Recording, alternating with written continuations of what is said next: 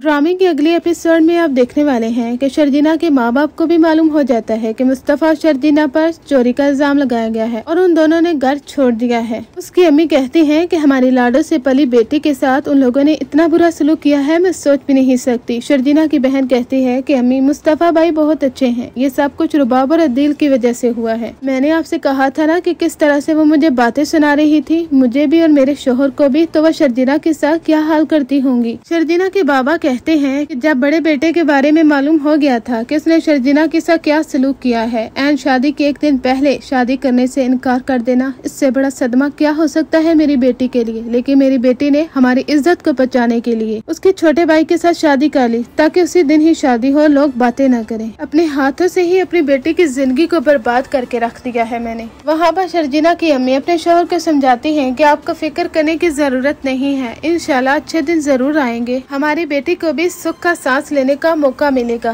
लेकिन उसके बाबा काफ़ी ज़्यादा इमोशनल होते हैं, क्योंकि वो अपनी बेटी से बेपना मोहब्बत करते हैं। इधर अदिल अपने माँ बाप को लेकर जब रुबाब के घर जाता है तो रुबाब गार्ड के ज़रिए उन्हें धक्के देकर वहाँ से निकलवा देगी। उन्हें कहती है कि आप लोग यहाँ से चले जाइए। इस तरह के मिडिल क्लास लोगों की यहाँ पर कोई जगह नहीं है। आप लोगों का यही तो मसला है। जहाँ पर थोड़ा पैसा देखा, उसके पीछे पड़ गए। वहाँ पर अदिल के बाबा कहते हैं, क्या हो गया है आप लोगों को? इस तरह का घटिया इल्ज़ाम हम पर लगा रहे हो? हम किसी के पैसे के भूखे नहीं हैं। ये तो दिल है जो हमें यहाँ पर लेकर आया है। इसने तो हमें ये कहा है कि तुम मान चुके हो, वरना हम यहाँ पर क्यों आते? रुबाब कहती है, आपने अपने बेटे से पूछा है किसने क्या हरकत की है? नताशा के साथ मिलकर मुझे धोखा दे रहा है। और हो सकता है फ्यूचर में वह दोनों शादी भी कर लें। ये सुनकर उसके बाद दंग रह जाएँगे। वो कहेंगे की अदिल, तुम्हें क्या हो गया है? कैसी हरकत की है तुमने? पहले भी शर्जीना को छोड़ा था तुमने एंड शादी के एक दिन पहले। इस रुबाब का इंतहा किया था तुमने। हमने तुम्हें कबूल कर लिया और माफ़ भी कर दिया कि तुम अपनी ज़िंदगी में खुश हो तो फिर हम क्यों दखल अंदाजी करें? और अब जो हरकत तुमने की है ना, तुमने हमें जीते जी मार डाला है।